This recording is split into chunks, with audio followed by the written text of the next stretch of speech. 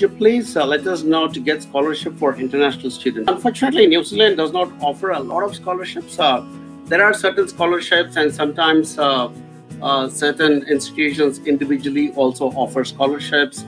Recently, I think there was a scholarship scheme being run by the University of Canterbury, and then prior to that, there was a scholarship from a private institutions. Uh, and then New Zealand, as a, a, government, also has a few scholarships, but not massively. Uh, in a lot of scholarships are available. Uh, I did a post uh, in the group chat, Gautam, somewhere, which gives a link to the scholarship. So if you can go to the group and go to the search box and type scholarships, I'm sure you'll get a link. Have a look at that because the, my team would uh, be aware of any current scholarship schemes that are being run by any individual colleges or universities. So please connect with our team and they will advise you whether any current scholarships are there which will be applicable.